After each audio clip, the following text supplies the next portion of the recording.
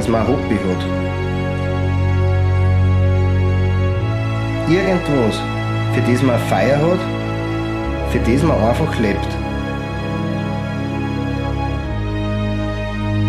Ich bin der Gregor Unterdächler und meine Feier brennt fürs Wildwasserkajaken.